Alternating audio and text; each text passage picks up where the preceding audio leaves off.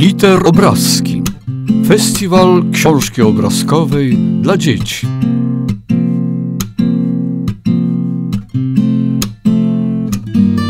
Literki to jest coś, co się pisze i się czyta w książkach, żeby można przeczytać, żeby dużo się dowiedzieć.